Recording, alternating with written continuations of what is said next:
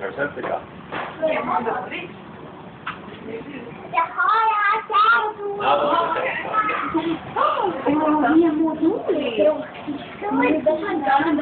Det där är så hålla. Tänk dig risken. Vad är det där?